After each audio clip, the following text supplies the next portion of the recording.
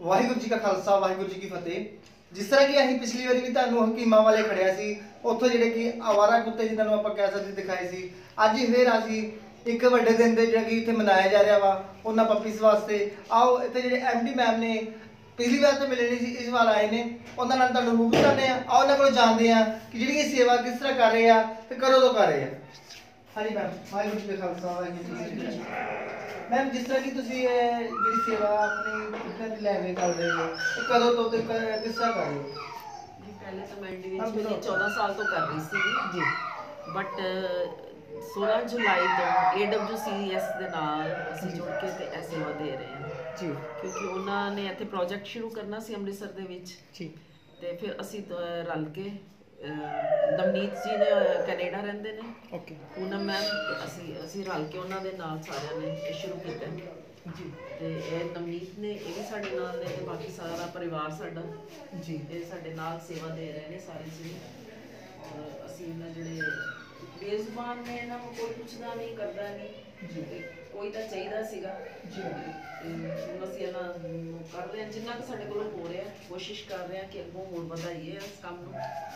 ਤੇ ਹਾਲੇ ਤੱਕ ਤਾਂ ਸਮਾਲ ਸਕੇਲ ਤੇ ਹੈਗਾ ਵਾ। ਕੋਸ਼ਿਸ਼ ਹੈ ਕਿ ਨੈਕਸਟ ਈਅਰ ਤੋਂ ਅਸੀਂ ਇਹਨੂੰ ਵਧਾਵਾਂਗੇ। ਜੀ। ਮੈਮ ਹੁਣ ਤੱਕ ਤੁਸੀਂ ਕਿੰਨੇ ਕੁ ਜਿਹੜੇ ਪੱਪੀਸ ਹੈਗੇ ਆ ਉਹਨਾਂ ਨੂੰ ਸੰਭਾਲ ਚੁੱਕੇ ਹੋ ਜਾਂ ਉਹਨਾਂ ਦੀ ਸੇਵਾ ਕਰ ਰਹੇ ਹੋ? ਕਾਫੀ ਨੇ ਆਂਦੇ ਕਈ ਆ ਜਾਂਦੇ ਨੇ ਠੀਕ ਹੋ ਕੇ ਚਲੇ ਵੀ ਜਾਂਦੇ ਨੇ। ਕਈ ਹੁਣ ਹੁੰਦਾ ਕਿ ਕਈ ਵਾਰੀ ਨਹੀਂ ਵੀ ਸਰਵਾਈਵ ਕਰ ਪਾਉਂਦੇ ਕੁਝ ਜੀ। ਬਟ ਆਂਦੇ ਜਾਂਦੇ ਰਹਿੰਦੇ ਨੇ ਜਿਹੜੇ ਠੀਕ ਹੁੰਦੇ ਨੇ ਕੁਝ ਲੋਕ ਅਡਾਪਟ ਵੀ ਕਰਦੇ ਨੇ ਉਹਨਾਂ ਨੂੰ। ਕਿ ਨੈਚੁਰਲੀ ਕਿ ਇੰਡੀਅਨ ਬਰੀਡ ਅਗਰ ਅਸੀਂ ਅਡਾਪਟ ਕਰਾਂਗੇ ਅਸੀਂ ਬਾਹਰੋਂ ਲਿਆ ਕੇ ਇੱਥੇ ਅਡਾਪਟ ਕਰਦੇ ਹਾਂ। ਜੀ। ਕੋਸ਼ਿਸ਼ ਇਹੀ ਹੋਣੀ ਚਾਹੀਦੀ ਹੈ ਕਿ ਸਾਨੂੰ ਇੰਡੀਅਨ ਬਰੀਡਸ ਅਡਾਪਟ ਕਰਨੀਆਂ ਚਾਹੀਦੀਆਂ ਨੇ। ਤਾਂ ਕਿ ਅਸੀਂ ਅਗਰ ਆਪਣਿਆਂ ਨੂੰ ਬੇਕਾਰ ਕਰ ਦਵਾਂਗੇ ਤੇ ਅਸੀਂ ਬਾਹਰੋਂ ਲਿਆ ਕੇ ਉਹਨਾਂ ਦੀ ਨੂੰ ਕਰੀ ਜਾਂਦੇ ਹਾਂਜੀ। ਕੋਸ਼ਿਸ਼ ਹੋਣੀ ਚਾਹੀਦੀ ਹੈ ਕਿ ਅਸੀਂ ਇੰਡੀਅਨ ਬਰੀਡਸ ਨੂੰ ਅਡਾਪਟ ਕਰੀਏ। ਬਹੁਤ ਸਾਰੇ ਲੋਕ ਅੱਗੇ ਆਉਂਦੇ ਨੇ ਜਿਹੜੇ ਇਹਨਾਂ ਨੂੰ ਅਡਾਪਟ ਕਰਦੇ ਨੇ ਔਰ ਬਹੁਤ ਸੋਹਣਾ ਉਹਨਾਂ ਨੂੰ ਪਾਲਦੇ ਨੇ।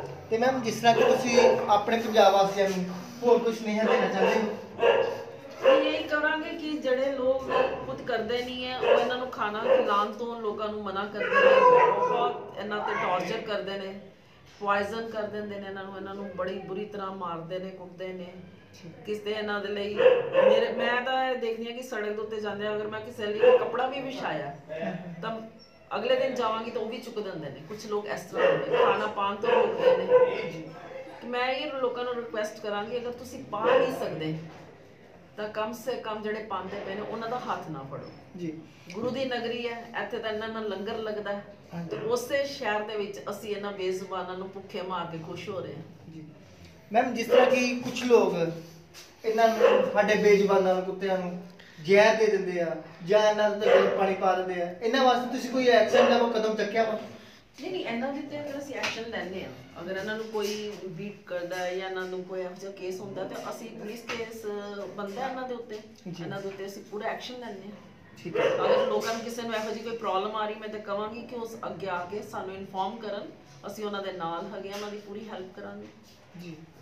ਅਸੀਂ ਇਹਨਾਂ ਦੇ ਐਕਸ਼ਨ ਲਵਾਂਗੇ ਉਹਨਾਂ ਲੋਕਾਂ ਦੇ ਉੱਤੇ। ਠੀਕ ਹੈ ਜੀ। ਤੇ ਮੈਮ ਅੱਜ ਤੁਸੀਂ ਇਹ ਇਹ ਦੁਬਾਰਾ ਜਿਹੜਾ ਬਹੁਤ ਵਧੀਆ ਸਜਾਇਆ ਵਾ ਤੇ ਇੱਕ ਵੱਡਾ ਦਿਨ ਵੀ ਲੱਗ ਆ ਰਿਹਾ ਵਾ। ਇਹਦੇ ਮੌਕੇ ਤੁਸੀਂ ਕੁਝ ਕਹਿਣਾ ਚਾਹੋਗੇ? ਸਾਡੇ ਲਈ ਤਾਂ ਇਹੀ ਮੰਦਿਰ ਤੇ ਮਸਜਿਦ ਗੁਰਦੁਆਰਾ ਸਭ ਕੁਝ ਇਹੀ ਹੈ। ਜੀ। ਕਿ ਜਿੱਥੇ ਇਹਨਾਂ ਦੀ ਸੇਵਾ ਹੋ ਰਹੀ ਹੈ ਸਾਰੇ ਮਿਲ ਕੇ ਸੇਵਾ ਕਰ ਰਹੇ ਨੇ। ਤੇ ਹੈਗਾ ਕਿ ਚਲੋ ਉਹ ਤਾਂ ਨਹੀਂ ਸਮਝ ਪਾ ਰਹੇ ਕਿ ਅਸੀਂ ਉਹਨਾਂ ਲਈ ਕੀ ਸੈਲੀਬ੍ਰੇਟ ਕਰ ਰਹੇ ਹਾਂ। ਪਰ ਸਾਡਾ ਮਨ ਜਾਣਦਾ ਹੈ ਅਸੀਂ ਵਿਸ਼ੇਸ਼ ਹੀ ਕਰ ਸਕਦੇ ਹਾਂ ਕਿ ਉਹ ਬੱਚੇ ਠੀਕ ਰਹਿਣ ਬਿਲਕੁਲ। ਤੇ ਲੋਕੀ ਉਹਨਾਂ ਨੂੰ ਪਿਆਰ ਕਰਨ। ਜੀ। ਇਹੀ ਇਸ ਦਿਨ ਦੇ ਸਾਡਾ ਸਨੇਹ ਲੋਕਾਂ ਵਾਸਤੇ ਵੀ। ਠੀਕ ਹੈ ਜੀ। ਤੇ ਅਸੀਂ ਆਪਣੇ ਮੈਮ ਨੂੰ ਵੀ ਪੁੱਛਾਂਗੇ ਕਿ ਅੱਜ ਦੇ ਦਿਨ ਤੇ ਕੀ ਕਹਿਣਾ ਚਾਹੁੰਦੇ ਆ? ਸਰ ਮੈਂ ਸਭ ਨੂੰ ਬੈਸਟ ਵਿਸ਼ੇਸ ਦੇਣਾ ਚਾਹਾਂਗੀ ਅੱਜ ਦੇ ਦਿਨ ਤੇ। ਜੀ। ਔਰ ਲੋਕਾਂ ਨੂੰ ਇਹ ਕਹਾਂਗੀ ਕਿ ਪਲੀਜ਼ ਇਹ ਜਿੰਨੇ ਵੀ ਬੇਜ਼ੁਬਾਨ ਹੈਗੇ ਨੇ ਇਹਨਾਂ ਪ੍ਰਤੀ ਪਲੀਜ਼ ਦਇਆ ਰੱਖੋ ਥੋੜੀ ਜੀ ਜੀ। ਹਾਂਜੀ। ਤੇ ਸਰ ਤੁਸੀਂ ਕੁਝ ਕਹਿਣਾ ਚਾਹੋਗੇ? ਇਸ ਮੌਕੇ ਤੇ ਸਾਰਿਆਂ ਨੂੰ ਬੈਸਟ ਵਿਸ਼ੇਸ ਹੀ ਦੇਣਾ ਚਾਹੁੰਦਾ। ਤੇ ਇਹੀ ਕਹੂੰਗਾ ਕਿ ਇਹ ਬੇਜ਼ੁਬਾਨਾਂ ਨੂੰ ਜਿੰਨਾ ਹੋ ਸਕੇ ਇਹਨਾਂ ਦੀ ਸੇਵਾ ਕਰੋ ਤੇ ਇਹਨਾਂ ਨੂੰ ਸੁਰੱਖਿਅਤ ਰੱਖੋ। ਹੁਣ ਠੰਡ ਦਾ ਮੌਸਮ ਹੈਗਾ ਇਹਨਾਂ ਨੂੰ ਕਮ ਸੇ ਕਮ ਜੇ ਤੁਹਾਡੇ ਘਰ ਦੇ ਬਾਹਰ ਕੋਈ ਹੈਗਾ ਡੌਗ ਵਗੈਰਾ ਉਹਨੂੰ ਤੁਸੀਂ ਕੰਬਲ ਵਗੈਰਾ ਦਿਓ ਤਾਂ ਕਿ ਉਹ ਠੰਡ ਦੇ ਵਿੱਚ ਮਰ ਨਾ ਜਾਵੇ। ਜੀ ਕਹਿਣਾ ਚਾਹੁੰਦਾ। ਠੀਕ ਹੈ ਤੇ ਅਸੀਂ ਜਿਹੜੇ ਸਾਡੇ ਖੁਸ਼ਬੂ ਜੀ ਮੈਮ ਨੇ ਇਹਨਾਂ ਨੂੰ ਵੀ ਪੁੱਛਾਂਗੇ ਜੀ। ਵਾਹਿਗੁਰੂ ਜੀ ਖਾਲਸਾ ਖਾਲਸਾ, ਵਾਹਿਗੁਰੂ ਜੀ ਕੀ ਫਤਿਹ। ਬਹੁਤ ਬਹੁਤ ਮੁਬਾਰਕ ਤੁਹਾਨੂੰ ਕ੍ਰਿਸਮਸ ਡੇ ਦੀ ਤੇ ਆਉਣ ਵਾਲੇ ਨਵੇਂ ਸਾਲ ਦੀ। ਬਸ ਅਸੀਂ ਇਹੀ ਕਵਾਂਗੇ ਕਿ ਸਾਡੇ ਗੁਰੂਆਂ ਨੇ ਵੀ ਕਿਹਾ ਹੈ ਕਿ ਬੇਜਵਾਨ ਦਰਵੇਸ਼ ਨੇ। ਅਗਰ ਅਸੀਂ ਇੰਨੀ ਵੱਡੀ ਸੋਚ ਰੱਖਦੇ ਹਾਂ ਤੇ ਇਹਨਾਂ ਲਈ ਉਹ ਸਭ ਕੁਝ ਕਰੀਏ ਜੋ ਅਸੀਂ ਕਰ ਸਕਦੇ ਹਾਂ। ਅਸੀਂ ਇਨਸਾਨ ਆ ਸਾਨੂੰ ਇਹਨਾਂ ਨੇ ਰੋਟੀ ਦਿੱਤੀ ਆ ਤੇ ਸਾਡਾ ਫਰਜ਼ ਹੈ ਅਸੀਂ ਅਸੀਂ ਜਿੱਥੇ 10 ਬਣਾਉਂਦੇ ਹਾਂ, ਉੱਥੇ ਦੋ ਵੱਧ ਬਣਾ ਕੇ ਇਹਨਾਂ ਨੂੰ ਭੁੱਖੇ ਦਾ ਢਿੱਡ ਭਰੀਏ। ਇੱਕ ਵਾਰੀ ਘਰੋਂ ਬਾਹਰ ਜੋ ਰਾਹੁਲ ਜੀ ਨੇ ਕਿਹਾ, ਰਾਤ ਨਿਕਲ ਕੇ ਜ਼ਰੂਰ ਵੇਖੋ ਕਿ ਕਈ ਵਾਰੀ ਕਈ ਡੌਗਸ ਹੁੰਦੇ ਆ, ਭੁੱਖੇ ਮਰ ਜਾਂਦੇ ਆ, ਬੱਚੇ ਮਾਵਾਂ ਤੋਂ ਵੀ ਛੋੜੇ ਜਾਂਦੇ ਆ। ਇਹ ਅਸੀਂ ਇਨਸਾਨ ਹੋ ਕੇ ਖੁਦ ਸੋਚਦੇ ਆ ਕਿ ਇੱਕ ਸਾਡੇ ਤੋਂ ਸਾਡਾ ਬੱਚਾ ਦੂਰ ਕੀਤਾ ਜਾਂਦਾ, ਜਦੋਂ ਇੱਕ ਬੇਜ਼ਬਾਨ ਤੋਂ ਦੂਰ ਕਰਦੇ ਆ, ਉਹ ਉਹੀ ਜਾਣਦਾ ਕਿ ਕਿੱਦਾਂ ਮਤਲਬ ਉਹ ਮਾਂ ਰਹਿੰਦੀ ਆ। ਬੱਚੇ ਸਰਵਾਈਵ ਨਹੀਂ ਕਰਦੇ। ਲੋਕੀ ਪਤਾ ਨਹੀਂ ਕਿਸ ਤਰ੍ਹਾਂ ਇਹਨਾਂ ਨੂੰ ਉਹਨਾਂ ਦੀਆਂ ਮਾਵਾਂ ਤੋਂ ਦੂਰ ਕਰ ਦਿੰਦੇ ਆ। ਤੇ ਸਟਰਲਾਈਜ਼ ਹੋ ਰਿਹਾ ਅੰਮ੍ਰਿਤਸਰ ਚ। ਕੋਸ਼ਿਸ਼ ਆ ਕਿ ਤੁਸੀਂ ਕੁਝ ਨਹੀਂ ਕਰ ਸਕਦੇ। ਆਪਣੀ ਗਲੀ ਮਹੱਲਿਆਂ ਜਿਹੜੇ ਡੌਗਸ ਨੇ ਸਟਰੀਟ 'ਚ, ਤੁਸੀਂ ਉਹਨਾਂ ਦਾ ਸਟਰਲਾਈਜ਼ ਹੀ ਕਰਵਾ ਦਿਓ। ਬਸ ਬੱਚੇ ਇਹਨਾਂ ਤੋਂ ਦੂਰ ਨਾ ਕਰੋ। ਇੰਨਾ ਹੀ। ਜੀ। ਅਸੀਂ ਜੀ, ਜਿਸ ਤਰ੍ਹਾਂ ਕਿ ਸਾਡੇ ਕਿਸਮ ਮੈਮ ਨੇ ਕਿਹਾ ਵਾ ਕਿ ਵਾਕਈ ਹੀ ਜੇ ਸਾਡੀ ਮਾਂ ਕੋਲ ਕੋਈ ਸਾਡਾ ਬੱਚਾ ਹੋਵੇ ਤੇ ਕਿੰਨੀ ਪੀੜਤ ਹੁੰਦੀ ਆ, ਇਹ ਤੇ ਫਿਰ ਬੇਜਬਾਨ ਹੈ ਇਸ ਨਾਲ ਹੀ ਵਿਦਾ ਚਾਹੁੰਦੇ ਆ। ਵਾਹਿਗੁਰੂ ਜੀ ਕਾ ਖਾਲਸਾ, ਵਾਹਿਗੁਰੂ ਜੀ ਕੀ ਫਤਿਹ।